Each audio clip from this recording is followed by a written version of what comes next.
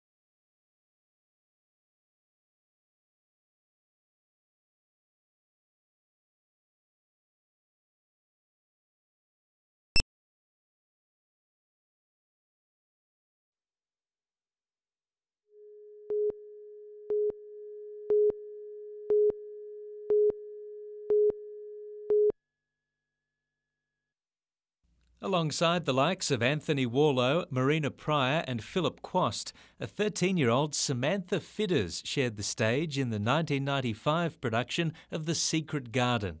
Now, the Newcastle girl is filling the role of assistant director. Yes, it does bring back a lot of memories, but I also had ideas when I was doing the show before about certain parts of it. She's worked on those ideas with her father Ross, who is producer and musical director.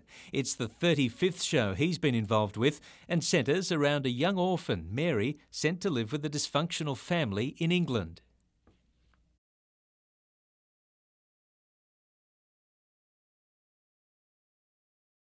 Our Mary comes into this household and she's rather a uh, indomitable spirit, if you like, and uh, through her finding a garden, were making this garden grow with the help of a couple of the locals.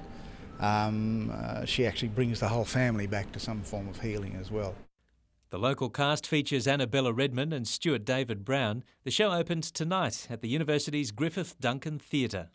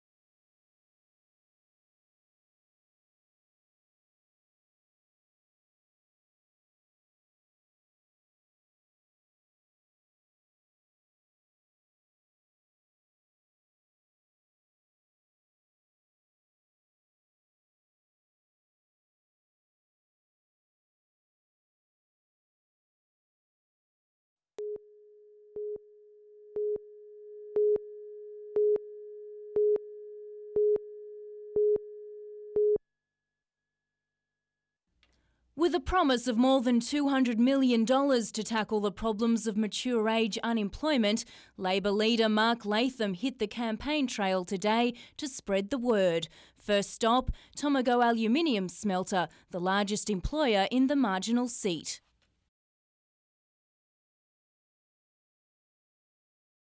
Employment has become the new policy battleground in the federal election. If Labor wins office, Mr Latham promises career centres for mature age workers and $2,000 learning bonuses for workers to retrain, a strategic pitch to boost Labor's standing with older voters.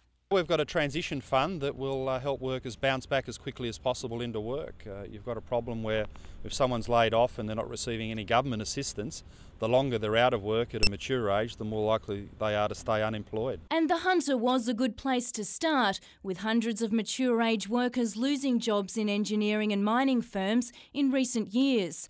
The future looks uncertain for 250 workers at the EDI Railway Workshop at Cardiff, and there's another 90 possible job losses from the ADI shipyard, many of them mature age workers. The opposition leader was also quizzed about his commitment to the upgrade of Energy Australia Stadium. The, the case is important. Um, it's a worry to us that uh, the stadium wasn't uh, good enough to have the uh, World Cup rugby matches and uh, vital tourism opportunities and dollars were uh, missed out uh, in the Hunter. But so far, he's given no detailed commitment.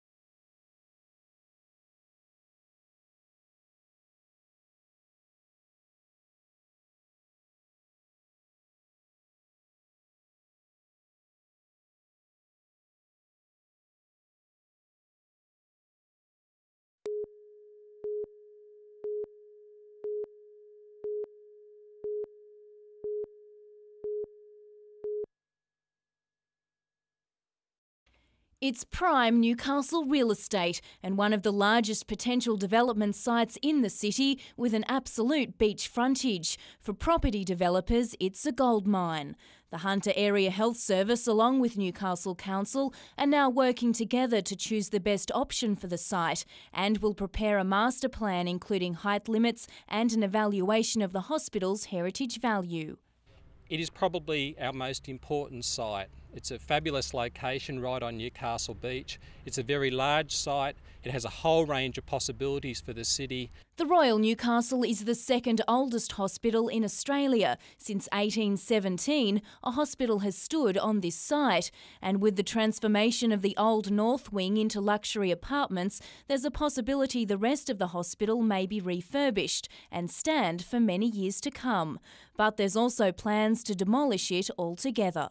The site's got a whole range of potential options. They could be things like uh, apartments, uh, perhaps service departments, hotel or convention centre, perhaps a commercial development, and even some community facilities. Jane Goldsmith, NBN News.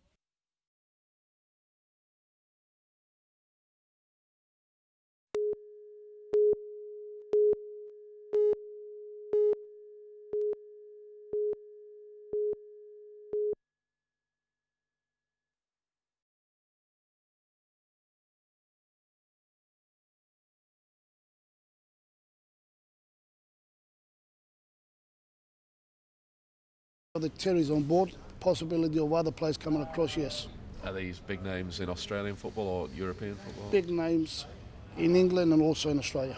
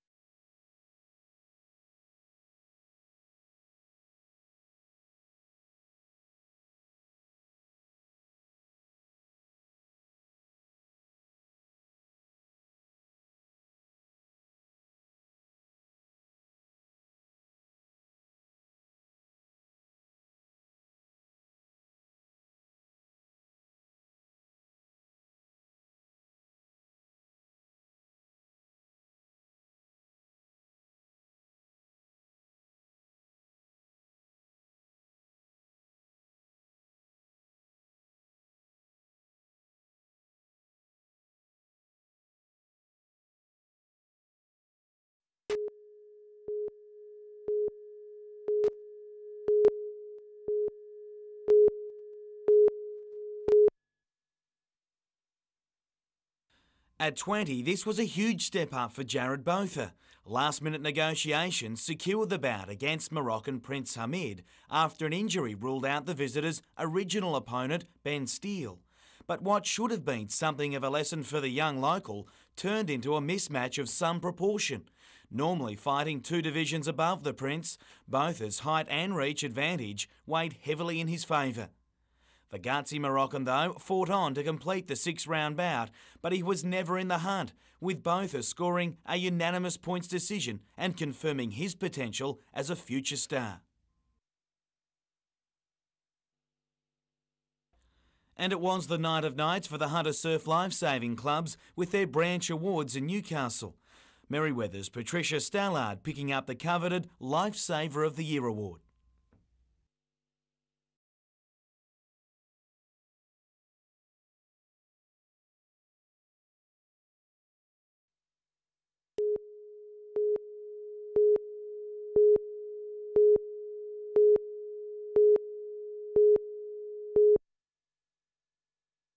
Police and the Coastal Patrol responded this morning to reports of a tinny aground on rocks near Jimmy's Beach.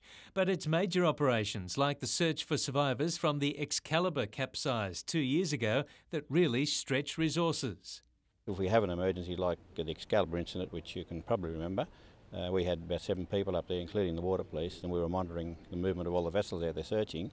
And even though that was under the control of Canberra, we still have to keep our eye on it because it's so close to home and you can imagine what it'd be like up there. We would have this big room then as a full communication and um, and a centre where these people can operate in a fair bit of comfort and get their work done. Volunteers looked over plans today for extensions at the base, which will be partly funded by a $220,000 grant from the federal and state governments. These are the people who give 24 hours a day, seven days a week for the protection of lives of others, and I think it's a worthwhile investment. It will have a fairly large uh, communication centre, which will double as a training room eventually. Uh, down in that room will be all the communication gear, a repeat of what's upstairs for an emergency situation. The new wing at the Nelson Head base should be finished next year. Paul Lobb, NBN News.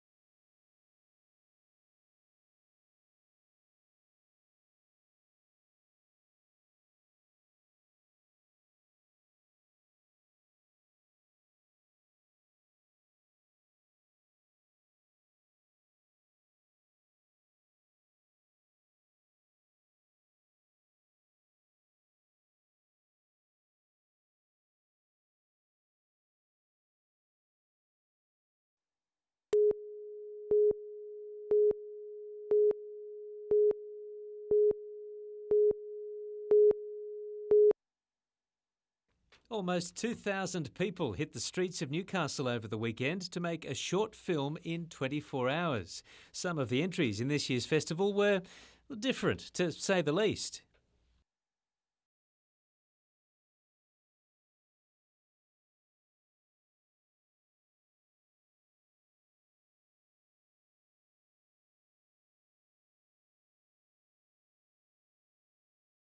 There was the guinea pig lost down the loo, eventually retrieved by some resourceful 10 year olds. But the big winner from almost 200 entries went to some Silverchair fans from Sydney, headed by filmmaker Luke Hammonds. It's a very Newcastle film. It's actually all about Daniel Johns and him moving into another film, uh, another band, and it's just it's a great comedy piece. It's all about rock and roll, and it's really good. Called Keeping It Hard.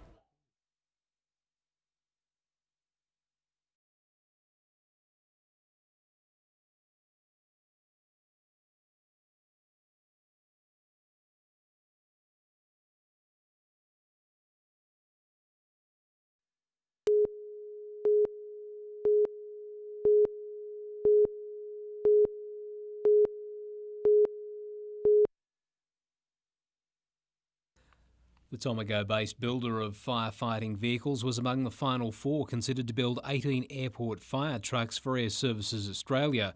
However, an Austrian company has been given the contract, prompting Newcastle Trades Hall Council to accuse the coalition of denying Australian workers and the economy the benefit of the work.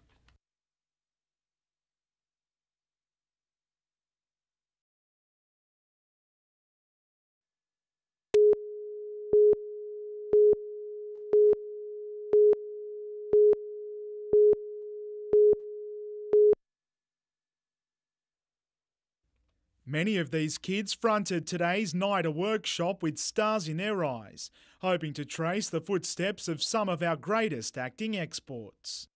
With any luck, become the next Mel Gibson or Russell Crowe or Hugh Jackman, and with any luck, crack it big in the um, entertainment business.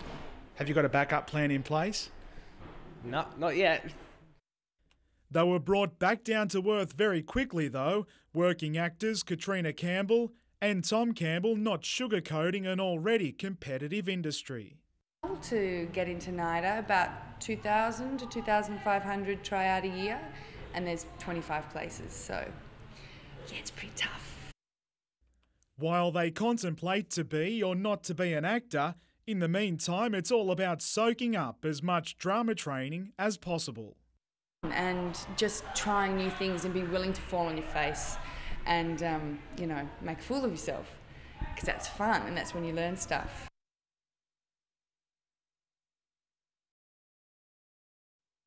Adam McKilrick, NBN News.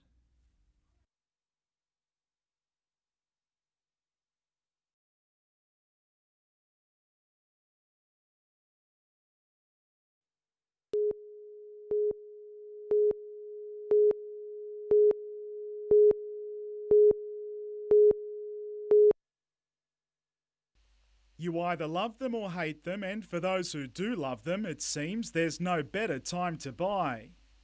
With our exceptionally low rainfall, oysters have, uh, have uh, been of exceptional quality and, uh, and taste, and the consumers sort of realising that. It's hard to believe, but the drought has played its part in the oyster industry as well. A lack of freshwater runoff from decent rain makes for more salty waters therefore better tasting oysters. And they're certainly good now to eat. They're beautiful, better than uh, many years for quite a number of years at this stage. While tasty, plump and plentiful the oysters may seem now, the lack of rain could have done more harm than good. Farmers maintain they need fresh water to ensure nutrients are washed into coastal waterways so the oysters have enough to eat through the warmer months and remain healthy for the Christmas period. That's not shaping up good for what we call winter mortality, which is just something that affects the oyster. It doesn't affect the, our consumption otherwise, but it will. Uh, it can kill the oyster itself. Then we don't have a good product to sell. The Weather Bureau predicts good rain over the next fortnight, but it far from settles the problems oyster farmers face over the coming six months. Adam McKilrick, NBN News.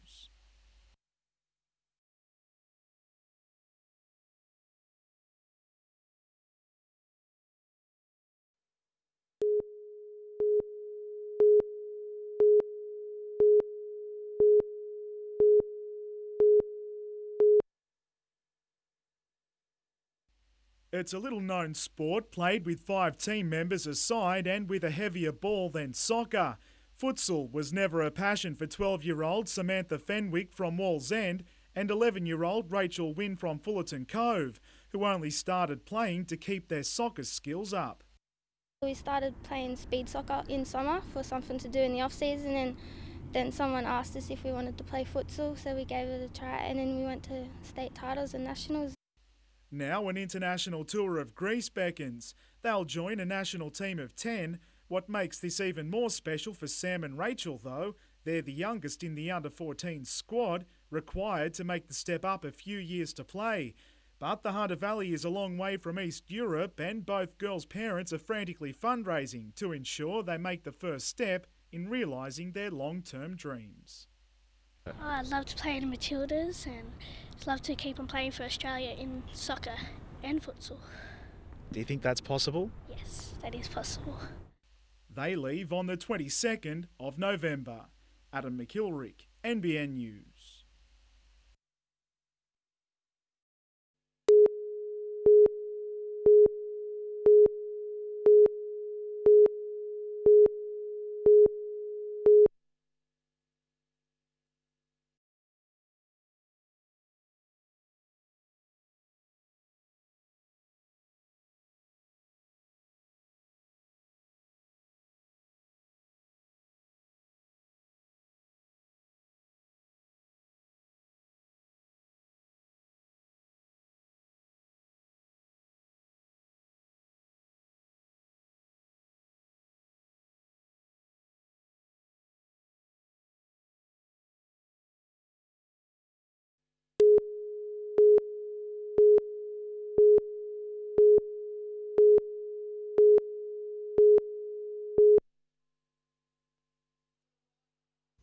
Few Knights fans would forget the last Newcastle Broncos match.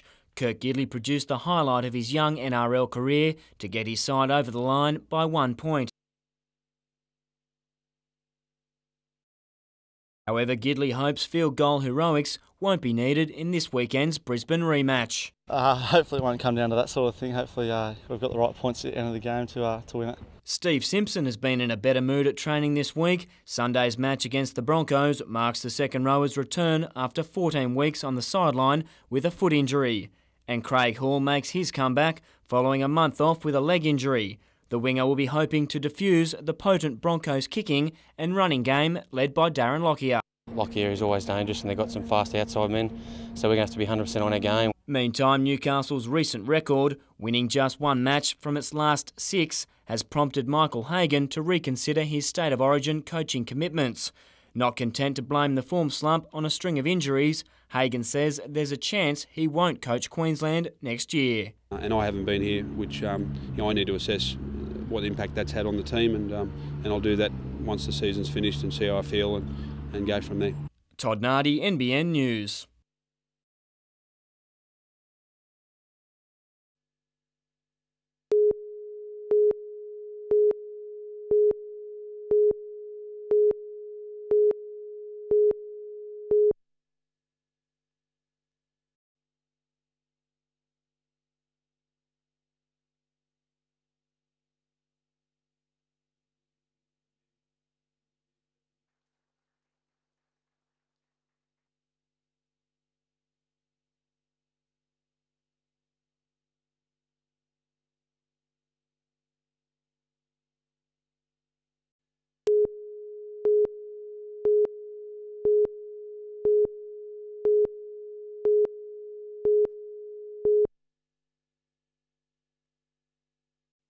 We first introduced you to Bianca Aravina three years ago when she was covered from head to toe in her burns recovery pressure suit.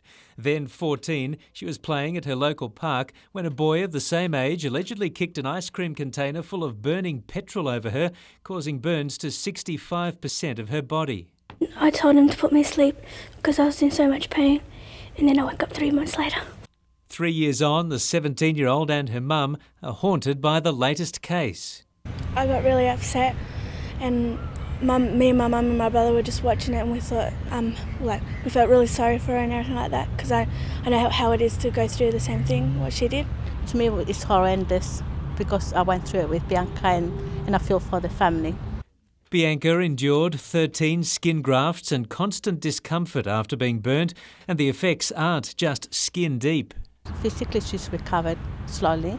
Um, mentally and psychologically, she's still gone through a very hard time. The boy charged with hurting Bianca has never been convicted, but for the Sydney family, words of hope from a survivor. Well, just to keep strong, and um, miracles do happen. Yes. Paul Lobb, NBN News.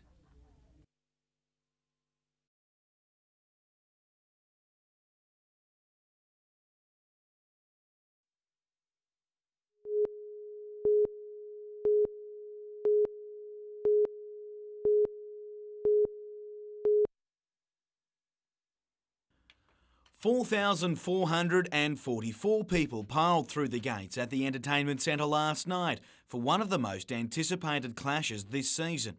And from the start, it seemed money well spent, teams trading goals. The Jaegers even pushing their noses in front.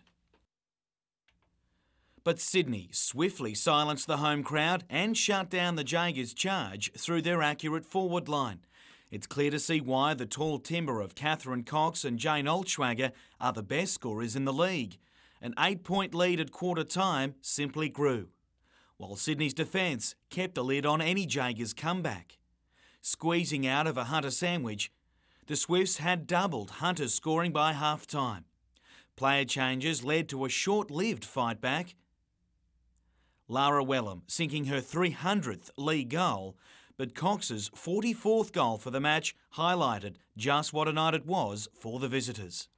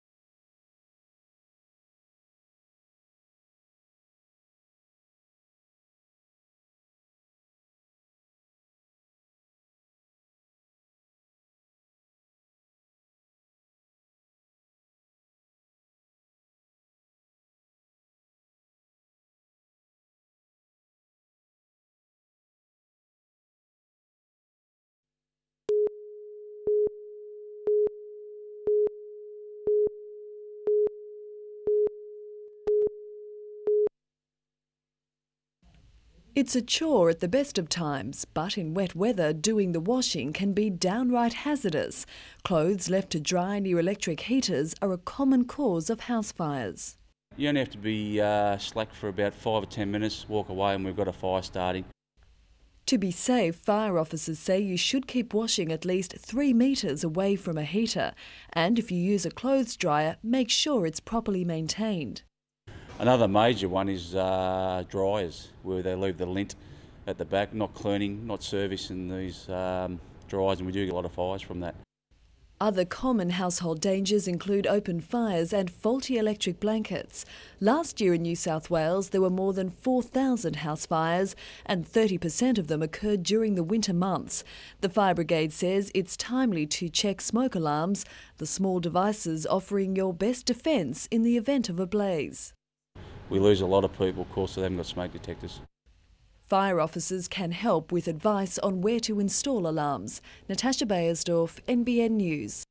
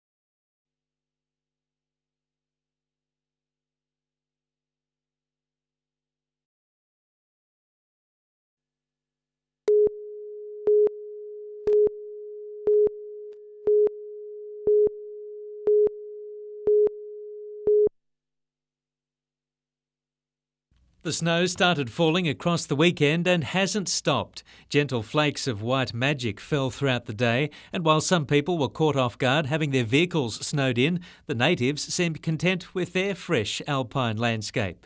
Families also flocked to the area in droves. Wonderful, wonderful. The kids haven't seen it before. yeah, it's good fun. Every year we make it a like a annual event when it snows. Long-time park officers say more than 30 centimetres of snow has fallen so far. Yes, this has been one of the best falls we've had for probably, oh, I'd say close to 10 years since we had a fall anything like this. The heaviest falls were at a campsite known as Polblue, where some hearty campers spent the night. We had planned to go camping, but um, this weather kind of set in, and we thought, stop, it'll go anyway. Each year, when the winter chills come sweeping through the Hunter Valley, the Barrington Tops gets all the headlines, and so it should. It's beautiful up here. But the Barringtons don't hold a monopoly on snow in this region. 29 years ago this week, it was snowing much closer to Newcastle. At Mount Sugarloaf, to be exact, snowfall's amazing sightseers in 1975 just west of Newcastle. Roads affected by snow in the Barringtons will be closed for several days, but there's still access by foot and by skis. Paul Lobb, NBN News.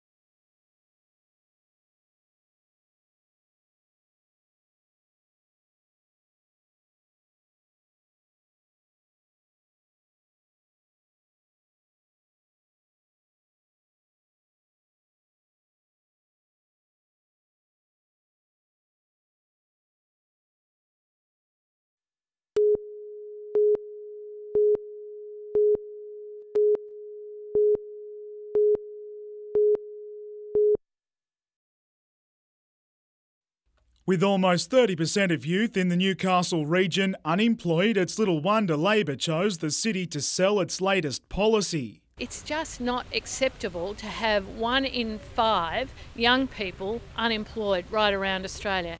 It's called the Link Up program, part of Labor's Youth Guarantee, and it comes with a $700 million price tag. Among other things, that buys no TAFE fees for high school students, 15,000 new TAFE places and apprenticeships, and a project to give 10,000 early school leavers a wage subsidised job. At today's Youth Forum, the big ticket items were well received. The extra TAFE places with this scheme would be a very, is a very good idea though because it's often hard to get into TAFE as it is. On the apprentice front, John Wilson employs six young people, all of which are currently subsidised by the government after they've had 12 months of training. Under Labor's proposed package, though, John's company would receive a subsidy from day one for each new apprentice he hires, an attempt by Labor to increase skilled worker numbers in an already stretched building industry. Financially, if you're getting a, a kick in your pocket, that it's, it's, everything helps. Adam McIlrick, NBN News.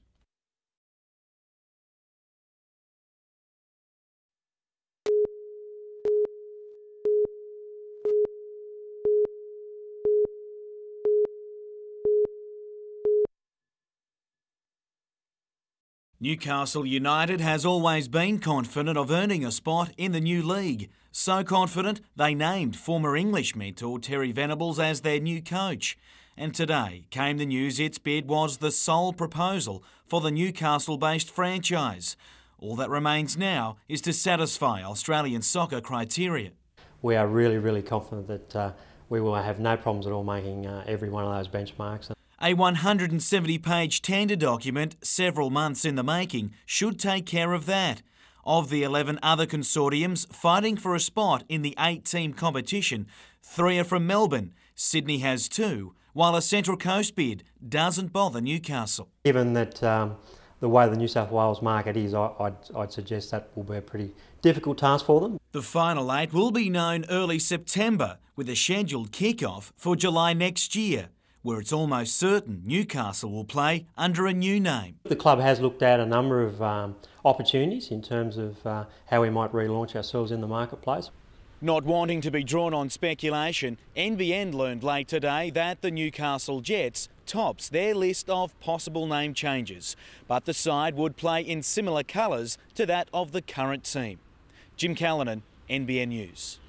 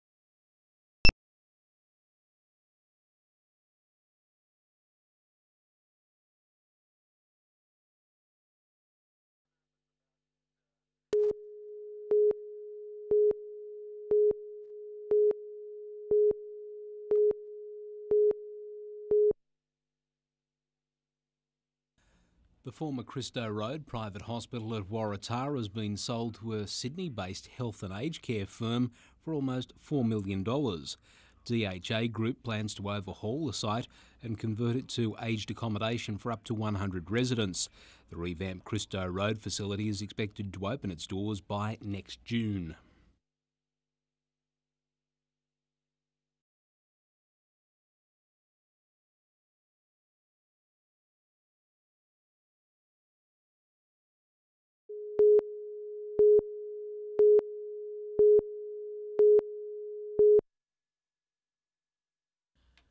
Dry, dusty, and dirty.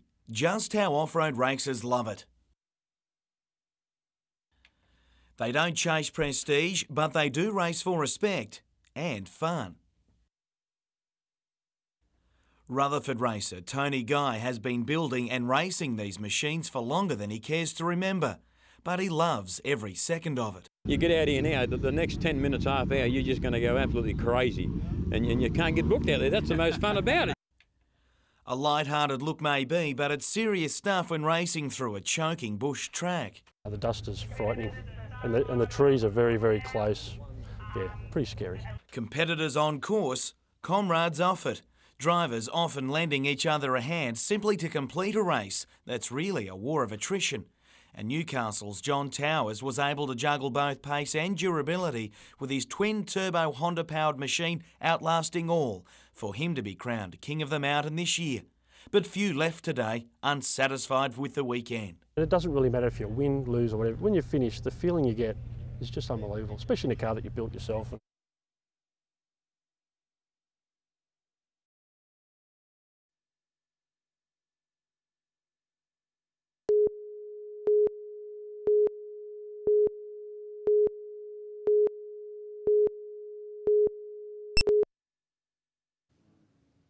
Well, despite a touch of controversy in last week's round, the calibre of football and the close scorelines were just amazing, which included two games decided by the Golden Point. Now, there's also been some individual performances that have been, well, just quite outstanding.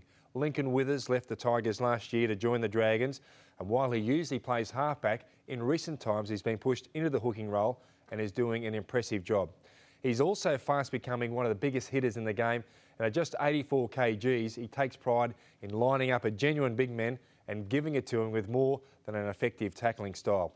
Now, even last week, while he come off second best, he still rattled the cage of Sharks and former Queensland front rower Chris Beattie. And uh, look, he usually the big men love running over the small man, but I tell you what, not this guy. He's one to watch out for. Cowboys front rower Paul Rauhihi is another player who deserves special mention. Now, I have no doubts that he'll represent New Zealand at the end of the year.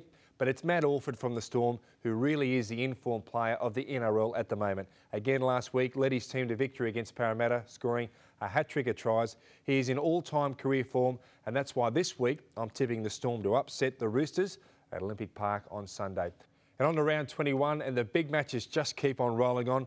Bulldogs take on the Panthers, and while the Dogs are favourites, I'm tipping Penrith, who are coming off a bye, to pull off an upset. In the rest of the games, I like the Broncos, Cowboys and the Eels Sunday. I like the Raiders, Storm and the Knights. Good luck for your tips. I'll catch you all next week.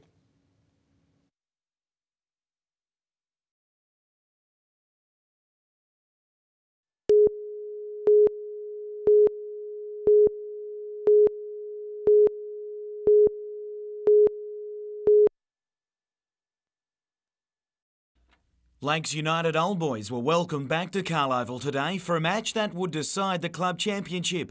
The Seagulls weren't nearly as hospitable on field, with Chris Horsfall sending Justin Seddon through for first points.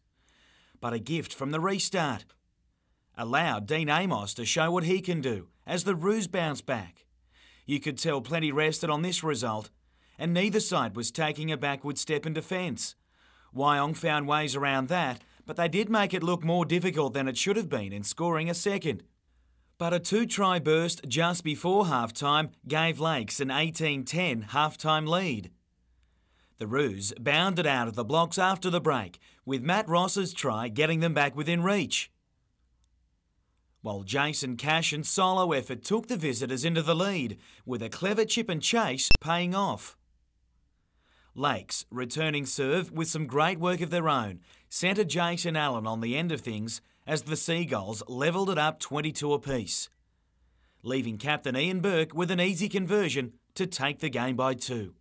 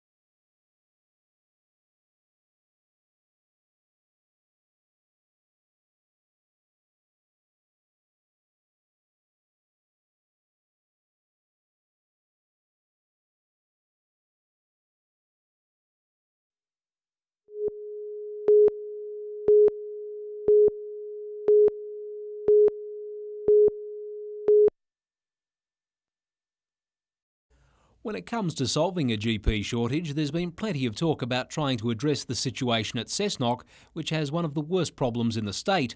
A new practice to open its doors at Cessnock Hospital next month will take a new approach to treating patients, with doctors to lead a team of health professionals rather than being a veritable jack of all trades. So the new way of working is a team working off the same clinical record so that everybody can see what everybody else is doing, able to call in the expertise of other team members when you when you need it, and led by a general practitioner. And the model will be under scrutiny because of its aim to make healthcare more sustainable. Dentistry is another area to benefit from the faculty's partnership programs, with Bachelor of Dental Surgery students from Adelaide Uni now spending time in the Hunter and Central Coast. Professor Marley believes the link will have long term benefits. Their students uh, will be able to do in time their last three years over here, and we hope very much that that means that they'll stay and bolster what is a, a, a very deficient workforce um, in the area here. Gary Blair, NBN News.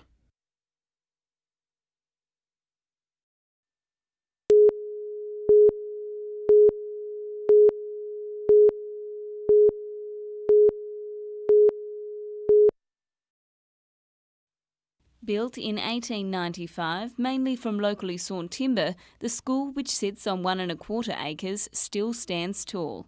Only now the classroom is bare, the bag rack is empty, and the playground is eerily silent.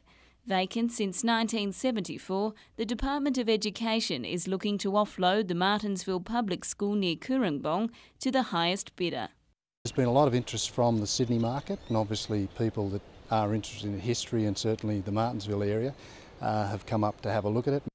Expected to fetch well over $350,000, the school features a dinky but operable kitchen, south facing windows, some delightful artwork, and outside little boys and girls' rooms.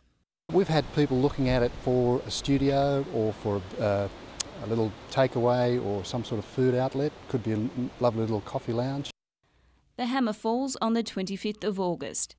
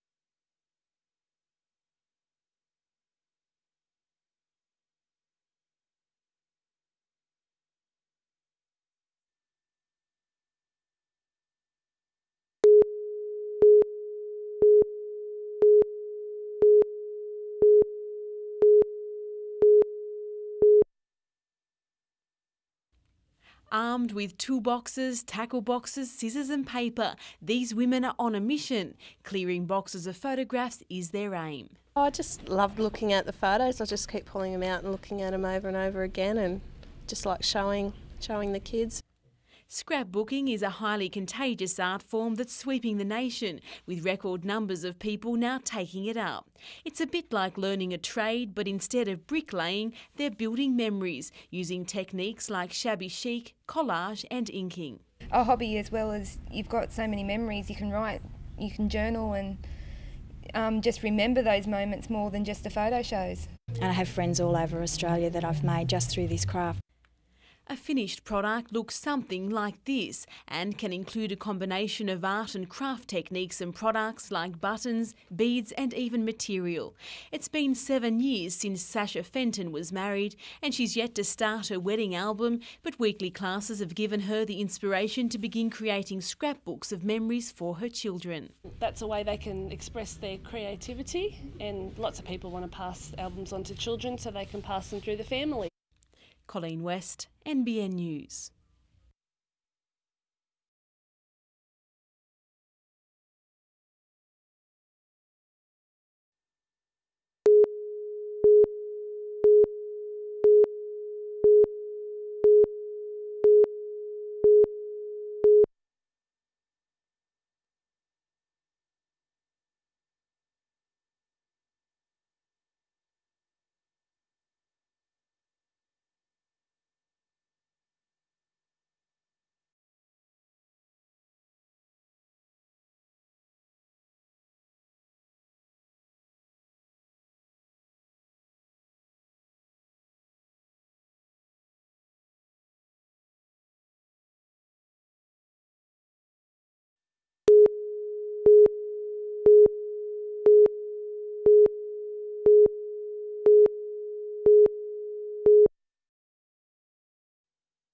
It may be made of the same material, but this cat is certainly no dinghy. To get the luxury vessel to this stage has taken around 90,000 man hours and 56,000 tonnes of aluminium. This is Forgacs' first crack at high end catamaran construction, and it's not a bad debut. This is all complex, uh, architecturally designed, and it is designed to when it's finished, it'll appeal to those people who stay in the high end luxury um, hotels of the world. To give you an idea of the kind of luxury we're talking, here a 10-seater spa, down the front a helicopter landing pad, while the deck below features a teppanyaki bar. The four decks will also feature a gym, library, movie theatre and accommodation for 10 crew and 10 passengers. The catamaran, which is owned by Newcastle businessman Jeff McCloy, will operate tours around northeastern Australia for the very rich and very famous.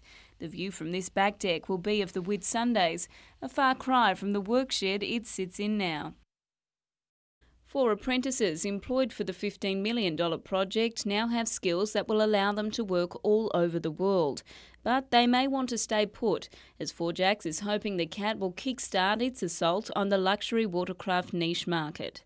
Our target is one of the one vessel of this nature about once a year, and preferably uh, more. Jessica Phyllis, NBN News.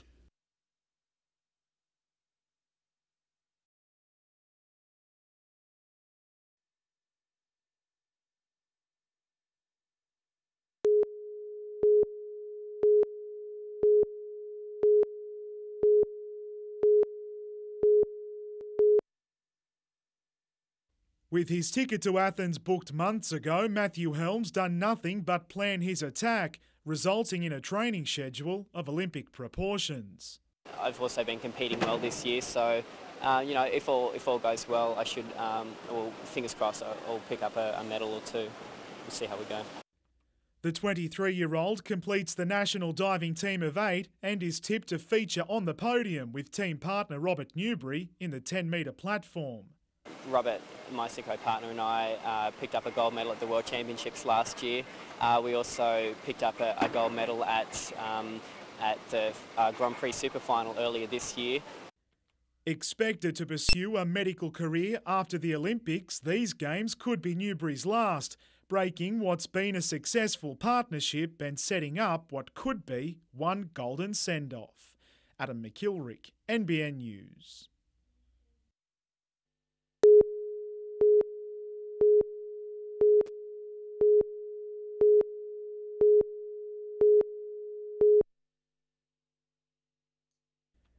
Sharing the overall lead at 4 under heading into the final day, Mitchell Brown didn't take long to make his move, a birdie on the second, setting up what would be a record breaking performance. A round for the Sydney siders, Scott McGuinness leapfrogged early leaders Tristan Lambert and Troy Cox, firing a final round 69 to finish at 3 under. Branxton's Mark Hale among the best placed locals to end up at 3 over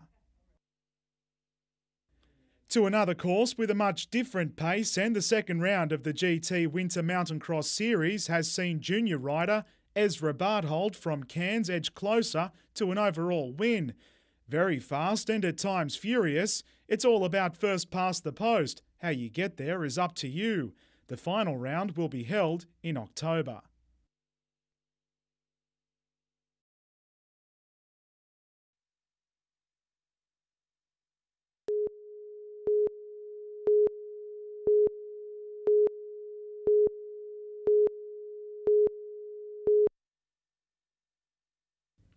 The man was travelling the New England Highway just north of Branxton at around a quarter past ten this morning when tragedy struck. And it appears as though an iron bar has fallen from a truck or some sort of vehicle travelling in either direction. Uh, the iron bars unfortunately struck the vehicle and fatally injured the driver. The victim's wife was by his side in the passenger seat. She escaped injury but was treated for shock by ambulance officers. Police are still searching for clues to what caused the accident, trying to determine where the iron bar came from.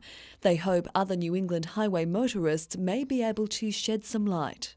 Someone that may have seen the accident occur or circumstances leading up to it Any witnesses should contact Muswellbrook Police or Crime Stoppers. The name of the 34 year old victim from Scone is yet to be released.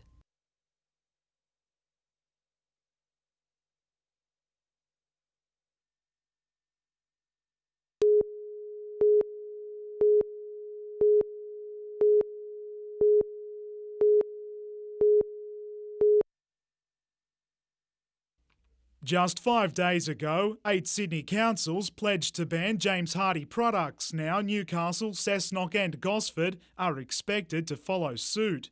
In terms of council, we must boycott James Hardie. I think everyone is appalled at this disgraceful company.